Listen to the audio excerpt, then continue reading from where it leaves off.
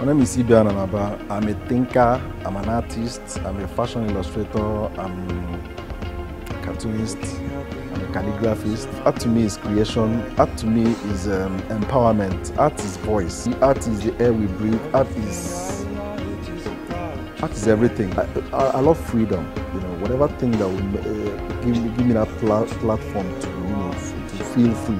Open Canvas is about transformation. Open Canvas is about fun. Open Canvas is about unleashing that that genius in you.